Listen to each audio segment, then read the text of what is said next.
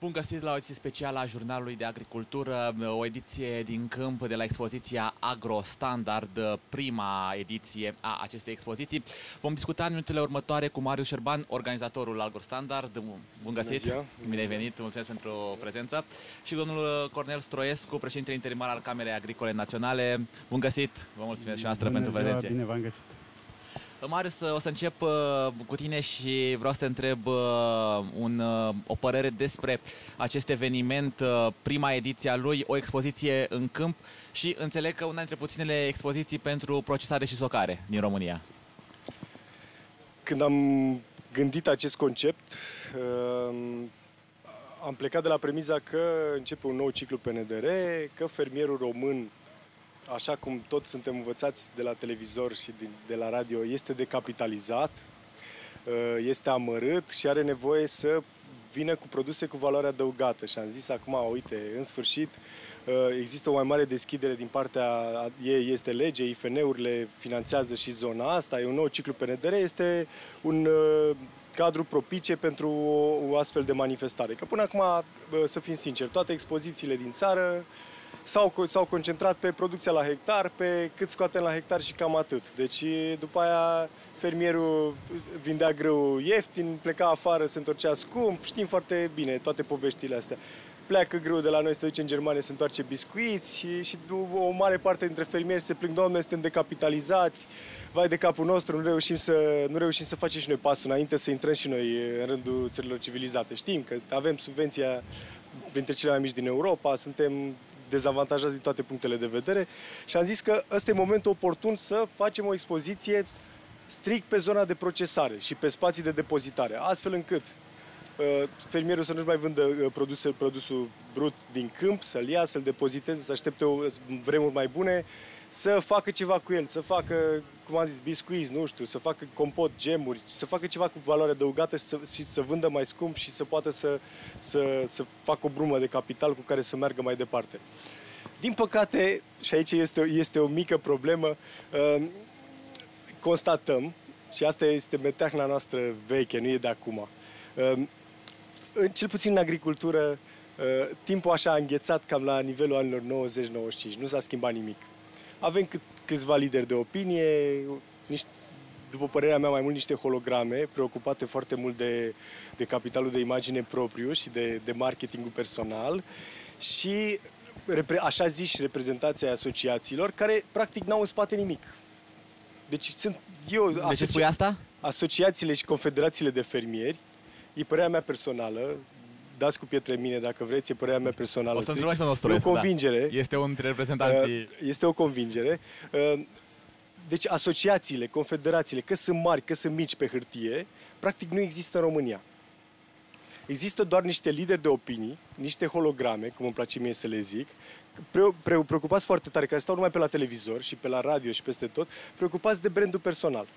Dar în teritoriu fiecare la, e, e, e, e o disoluție totală, fiecare este preocupat de propriul lui business, nu-l interesează decât eventual să mai, cum, cum îmi place domnului Baciu să spună de ce e o, o licență, dar e foarte plastică, foarte, să, să frece clanțele pe la minister și atâta, să se pună bine caș. Asta e meteahnă din comunism, vine. Să te pui bine cu, cu șeful. Sau cu poate, autoritățile. poate ți-e mai bine, dacă te pui bine, nu contează, hai să ne organizăm, să facem ceva, să construim ceva. Nu, hai să ne punem fiecare bine, eventual, așa, pe căi, pe în față discutăm, da, suntem, facem, dregem, suntem, uh, organizăm camere agricole sau ce mai organizăm noi și în spate, hai să frec eu clanța, că poate îl păcălesc pe ăla de lângă mine să, nu știu, să am un beneficiu personal. Asta vine din comunism, din păcate, generațiile nu s-au schimbat, cum zicea celebru Brucan, 20 de ani. Se pare că au fost prea puțini, deci trebuie să mai treacă încă vreo 10-20, să mai, să mai moară dintre cei mai în vârstă. E cinic ce zic.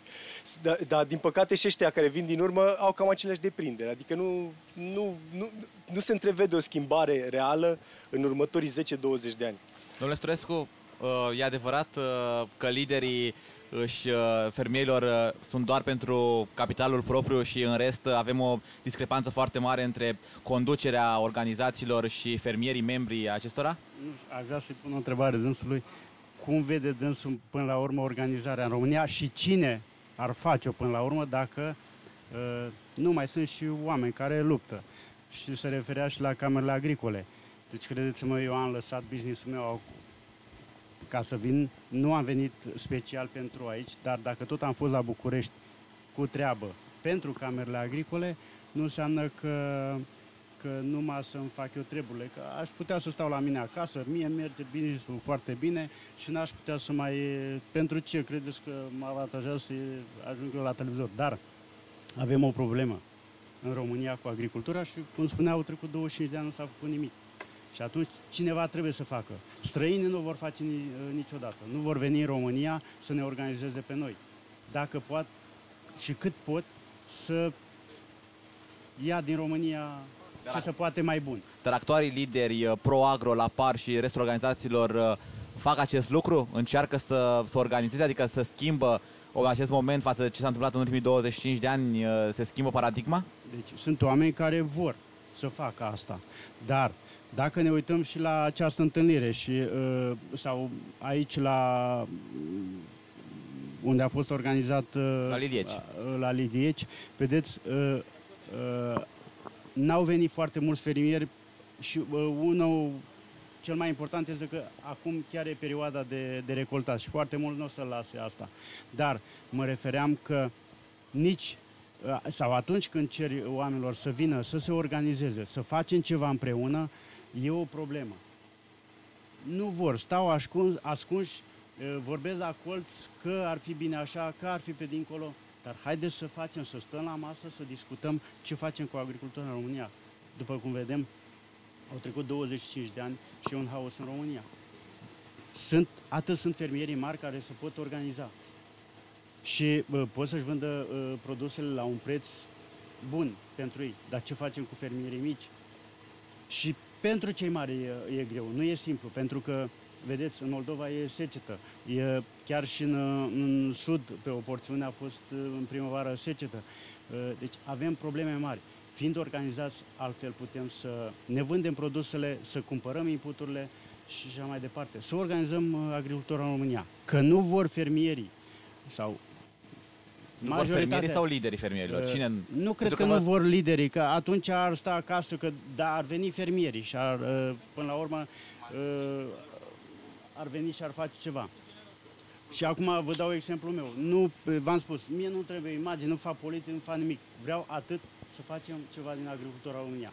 Eu nu fac, celălalt nu face, cine va face? Cum spuneam, străinii nu vor veni niciodată să facă ceva în România.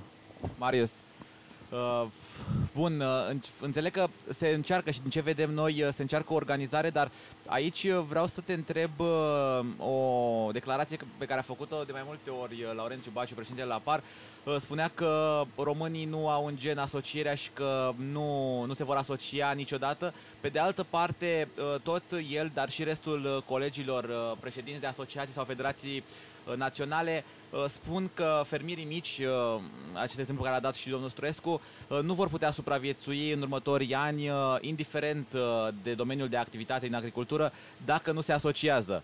E cumva un paradox sau un cer vicios mai bine spus. După părerea mea, și dacă se asociază, au șanse mici de supraviețuire. Deci, iar o părere strict personală.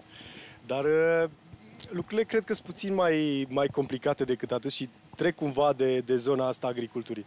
Este haos în România, știm foarte bine, de 25 de ani și sunt, după părerea mea, umila mea părere, sunt două motive pentru care se întâmplă asta. Avem o criză de lideri, lideri autentici, care să poată să coaguleze, să coaguleze fermierii, să coaguleze masele. Pentru că gândiți-vă, uh, după 25 de ani de, de mers pe contrasens, există așa o lehamite generală.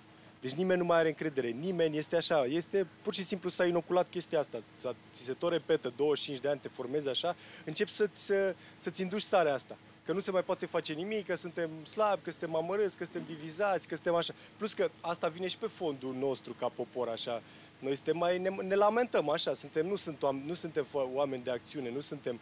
Plus că să ne gândim, a existat, uh, s-a mai diluat cumva gena asta a poporului, pentru că știm foarte bine, a fost epurările din anii 50, după aia au fost valurile de emigrație din 90 și după aia în 2000 și au plecat foarte mulți oameni capabili, care puteau să, să, facă, să facă ceva. Adică nu mai găsim structura, la sat nu mai există structura din perioada interbelică, când existau lideri de opinie care chiar coagulau oameni. A trecut comunismul peste, peste oameni, i-a mai spălat un pic pe creier, le-a mai pervertit un pic sufletele.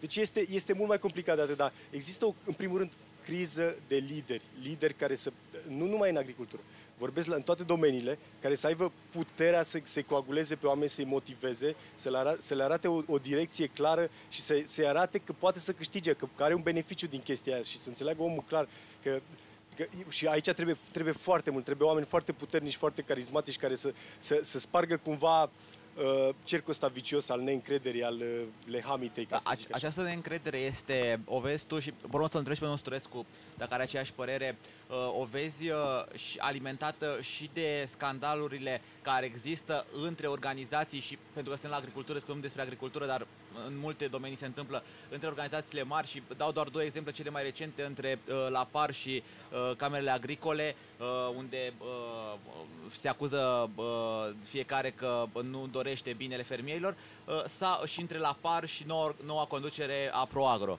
Uh, iar uh, lucruri care se aruncă în spațiul public și uh, poate văd ar și decredibiliza aceste organizații aici să-l citesc pe domnul Baciu, îi dau dreptate perfect domnului Baciu, nu, românul nu are gena asocierii și v-a zis, părerea mea este că a fost pervertită gena asta de atâția ani de comunism și după aia de a, nu știu ce, o democrație originală sau cum vreți să-i spuneți, neocomunism sau whatever, sau neoliberalism. Deci s-a, s-a pervertit cu gena asta asocierii și e, e, e foarte greu. Și e, asta, deci nu e numai în agricultură. Se întâmplă în viața politică, se întâmplă peste tot. Oamenii, nu, pur și simplu. Sunt, în agricultură, ca și în, ca și în restul clasei politică, în, în clasa politică, sunt bisericuțe. Plus că oamenii simt că uh, așa, așa a învățat comunismul, că dacă ai, cum să zic, faci parte ești, faci parte dintr-o, dintr-un grupuleț, dintr-o bisericuță, dintr-o clică, îți este mai bine decât dacă ești outsider. Și atunci se formează grupulețe, grupulețe pe, pe, uh, dar nu, nu, care nu au în vedere uh, binele comun sau, sau ieșirea, ieșirea din impas, ci interese oarecum personale, meschine, din imediata așa, la un metru jumate în jurul nostru, în jurul nostru. Mai încolo de un metru jumate e deja spațiu public, nu ne mai interesează, nu e spațiu public, oricum românul nu are cultura spațiului public, nu, el nu înțelege. Deci în ce, tot, tot spațiul public se termină la el la un metru jumate în jurul lui, așa el e cumva în, în centrul cercului, la un metru jumate se termină spațiul public și după aia nu mai contează. Deci de-aia zic, este nevoie de oameni foarte puternici, oameni care să vină cu programe coerente, oameni care să se impună în fața altor oameni și să, să spargă cumva cercul ăsta vicios și să fie locomotive, să, să, să-i tragă după ei. Dar, v-am zis, e foarte greu pentru că ni s-a inoculat spiritul ăsta al clicii, spiritul al bisericuței și asta e, sunt niște metehne de care greu se poate scăpa. Măstrescu, este o problemă de orgolii între acești lideri Uh, ca să nu dăm vina numai pe cei 50 de ani de comunism și de cu vechile cooperative, pentru că au trecut totuși 25 de ani, sunt oameni tineri ca și dumneavoastră care uh, puțin uh, mai au uh, amintirea acestor, uh, acestor lucruri. Și uh, Marius spunea că nu există lideri uh, puternici, uh, nu există lideri destul de puternici sau uh, sunt, uh, sunt lideri de același calibru care uh, se luptă în orgolii? Eu cred că nu, nu sunt orgolii, e, până la urmă e constructiv tot ce discutăm, probabil că sunt și părerile domnului Baciului, domnul Baci, nu sunt toate ok, dar până la urmă sunt și părerile mele, poate nu sunt toate bune, dar în felul ăsta trebuie uh, la un moment dat să, ne, să le unim, să facem ceva. Uh, aș putea pune o întrebare de ce au plecat oamenii din, din România. Tot din cauza dezorganizării. Dacă noi încercăm să ne organizăm, dar suntem respinși până la urmă, și o spun acum din punctul meu de vedere, politic. Nu putem să, să facem ceva fără o lege, fără ceva care să fie stabil și până la urmă în, în toată lumea orice activitate se desfășoară după într-un stat după o lege, după un cadru legislativ. Un, un cadru legislativ. Deci, dar după cum vedem, și acum mă refer la legea Camerelor Agricole, care tot să, să uh, discută și să discută și atât de un an de zile drumuri și uh, să modificăm acea lege uh, 283 uh, să renunțăm la acea ordonanță 58 la care se referea, se referea și domnul Baciu, că nu se pot organiza uh, fermierii uh, în, în țară uh, după acea organizație, după, cea, după uh, acea ordonanță, pentru că nu sunt bani și fermierii nu sunt dispuși să plătească. Acum, până la urmă, ei își fac rău. Lor își fac rău, în loc să se organizeze. Până la urmă, și după acea ordonanță trebuia să organizeze, să-și facă alegeri, să există acea uh, uh, camere agricole, așa cum am făcut noi în 14 județe, să fi fost în toată țara și atunci discutam altfel. Oricum, noi, uh, cei care ne-am înfițat, Camera Agricolă Națională, e interimară, uh, vom merge mai departe. Avem acum un sediu în București, la Asas. Ați primit uh, sediu? Sigur. Avem la Asas un sediu.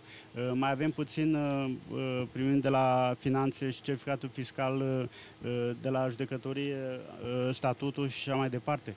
Deci noi nu o să stăm pe loc și asta vreau să spun dânsului că o să acționăm și nu pentru imagine sau ca apare eu la televizor, trebuie să facem ceva. Că nu o să fac eu, mă retrag, o să vină cine până la urmă? Să vină altcineva, cum îi spuneam și domnului Baciu. Vino, dar trebuie, aceste camere sunt necesare în România, așa cum funcționează în toată Europa. Și ce bine funcționează și uh, uh, ce bine le merge fermierilor din Franța, Germania, Spania și așa mai departe. Și uh, spuneam mai devreme, vedem uh, legume pe marginea drumului. Câte din aceste legume sunt uh, din România? Sunt uh, din acele țări unde sunt organizați. Fermierii sunt organizați, fermierii știu atunci când, uh, când trebuie să vândă producția, știu unde să o dea și uh, li se returnează venitul, uh, banii pentru, pentru acele produse. Deci, uh, din punctul meu de vedere, camerele agricole uh, Uh, prioritar pentru Camera Agricolă ar fi organizarea unei piețe în România, pe toate uh, domeniile din agricultură. Bun, dar, Cel mai important acel lucru. Bun, dar uh, ce facem pentru că acea lege a Camerei Agricole înțeleg că e încă încă blocată în Parlament, iar atât autoritățile cât și unii reprezentanți ai fermierilor spun că nu se poate debloca, tocmai datorită faptului că o bună parte sau anumite organizații uh, nu vor nu e adevărat acea, așa, acea lege. Nu, nu, nu că nu vor organizațiile pentru că nu e adevărat așa ceva. Legea e la, la Senat, am avut discuții, o, primele discuții pe 14 articole din legea 283. Uh, Comisia de Agricultură din Senat a fost de acord, re, reluăm discuțiile în, în toamnă și uh, cel puțin de la Comisia de Agricultură avem, uh, uh, din Senat, avem tot sprijin. Va ieși mult modificat, așa cum uh, susținea domnul Baciu la întâlnirea cu dumneavoastră? Modificat în ce sens? Atribuțiile care sunt ale Camerei Agricole sau au fost acceptate, ce a rămas discutând despre finanțarea uh, pentru înființarea camerelor agricole și pentru susținere pe o perioadă de cel puțin 2 ani. Și care ar fi acele atribuții? Pentru că am văzut, uh, era și o, o a fost uh, cea mai uh, mare spune, diferență de opinie între dumneavoastră și domnul Baciu, a fost aceea pe atribuții. Asta spuneați că ar trebui să-i ajute pe fermieri să-și vândă, să-și vândă acele produse, pe când domnul Baciu spunea că acea ceva nu se poate, este o cooperativă, cooperativă pentru așa ceva și că uh, aceste camere agricole trebuie să aibă cu totul și cu totul alte atribuții. Eu, din punct, eu mențin punctul meu de vedere și îl mențin până la capăt. Noi prin camerele agricole trebuie să organizăm în primul rând piața. Consultanță vine, uh, uh, nu fac în, uh, în fiecare an proiecte fermierii. Pentru alte explicații astea sunt direcțiile agricole și camerele agricole care mai sunt pe acolo, dar din păcate nu prea funcționează și prea multe detalii n-a, n-a dat fermierilor cum spuneam, îmi mențin acest punct și pentru, sunt uh, atâtea atribuții care poate să le aibă Camera Agricolă, dar, cum spuneam, uh, pentru început și eu cred că pentru totdeauna organizația unei piețe, organizarea unei piețe în România e un lucru cel mai important. Păi, și în uh, forma de la Senat, această organizare a pieții este trecută deci, ca atribuție? Deci, a Camerei? Uh, a spus că aveți deja atribuții deci, stabilite. Deci, deci atribuțiile sunt stabilite. Bineînțeles, noi am cerut ca uh, aceste camere agricole să uh, fie, de fapt, ca o societate. să cumpere, să vândă, dar nu ca o societate care să jegmenească pe fermieri, ca o societate care să păstreze un echilibru între, între uh, produse și prețul care îl, îl oferă fermierului direct. Și această formă va ieși din Senat, va avea și această deci, componentă când va ieși din Senat Camera sigur, Agricolă? asta am ținut foarte mult ca să fie, camerele agricole trebuie să facă așa ceva. Astfel, fermierii nu au, eu nu văd altă organizație în România care ar putea să organizeze fermierii să-și vândă produsul în România. Dar cooperativele? Ar fi da, o soluție? Sunt, co- sunt cooperativele, sunt cooperative în, în România, dar, dar sunt foarte puține. Dacă vorbim, uh, uh, acum am vorbit de legume, fructe, dacă vorbim de carne, de lapte, uh, unde? Unde se procesează în momentul ăsta în uh, sud-vestul României lapte? La momentul ăsta. Și au fost, uh, vorbeam de fonduri care vin pe tineri fermieri, pe uh, fermele de familii care vor să investească în... Uh, La Mehedinți înțeleg că nu mai avem nicio fabrică de lapte în acest moment. Nu vorbim de, de procesare, nici de cel puțin de colectare.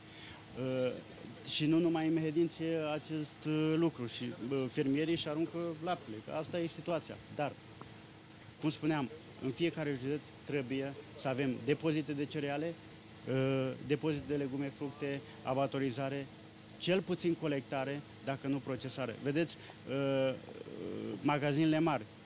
Acum mai nou, toți oamenii merg la cumpărături la hipermarketuri. Da?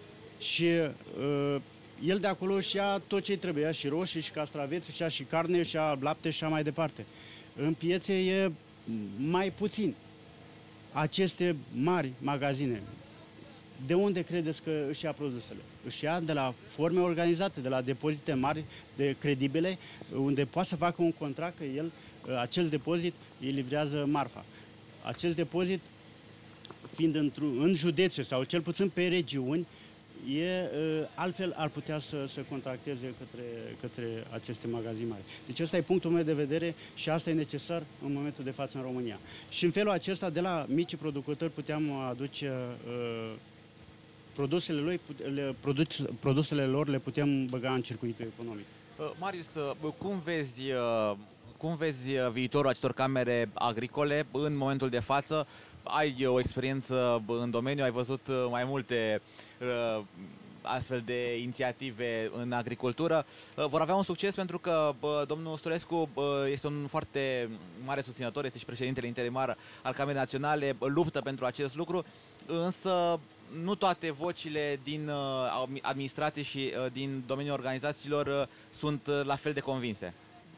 După părerea mea, camerele agricole sunt doar o utopie frumoasă, frumos, e bine să, să visăm. Și, co- și comunism era o utopie frumoasă, deci era, toți oamenii erau egali, toți oamenii erau prosperi, toți...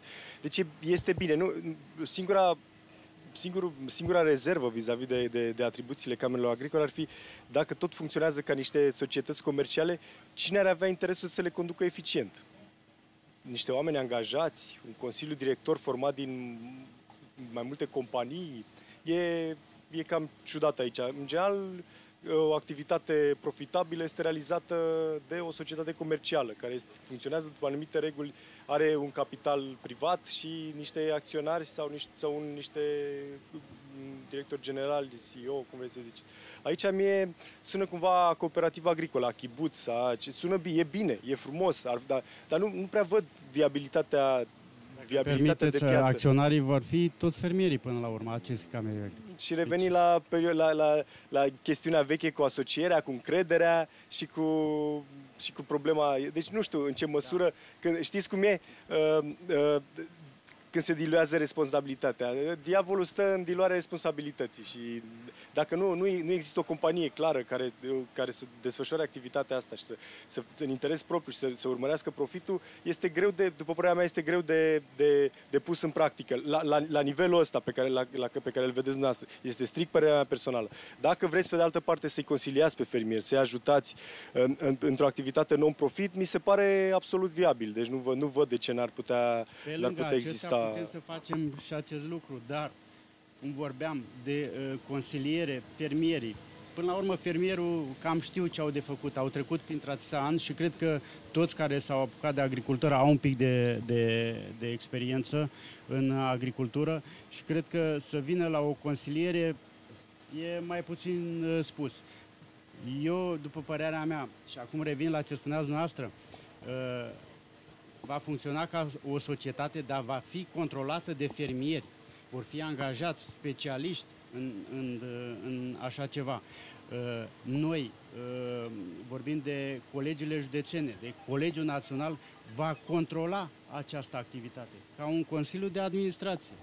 Și fermierii, bineînțeles, vor fi uh, acționarii acestei instituții.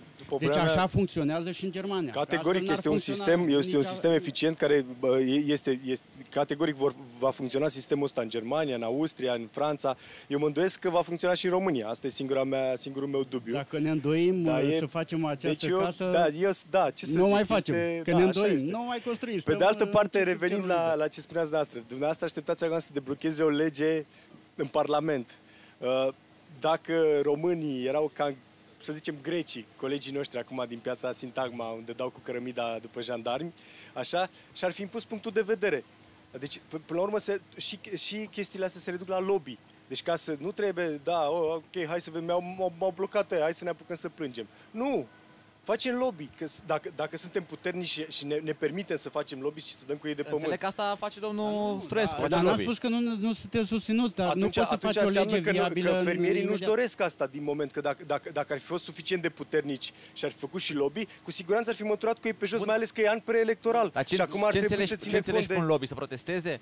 Nu știu, to- sunt mai multe variante de lobby. Poți să protesteze, poți să se ducă să, nu știu, să-i, să picheteze pe ăștia. Păi da, da, e, da, să, da, da, se, ducă, să, se ducă la PSD, la PNL în față, Auzi, să le facă să dacă, blocheze... Dacă ne-ar fi refuzat uh, Ministerul sau Comisia de Agricultură din Senat, da, spuneam, ieșeam în stradă și vrem camera, dar nu ne-a refuzat. Deja avem discutate și, până la urmă, la Comisia de Agricultură sunt, uh, au fost de acord în unanimitate uh, cu primele 14 articole ale Camerei Agricole. Deci atunci, da, ieșim în stradă și sunt unul care ies în stradă, dar atâta timp cât uh, uh, avem susținere și să vrea asta, normal, nu poți să schimbi o lege așa repede. Dar vedem, așteptăm septembrie, începem discuțiile, se termină, dacă nu se aprobă, dacă nu va trece de, de Senat cu siguranță va trece. Dacă nu va trece și de, de, uh, de Camera Deputată, cu siguranță vom ieși în stradă pentru această lege.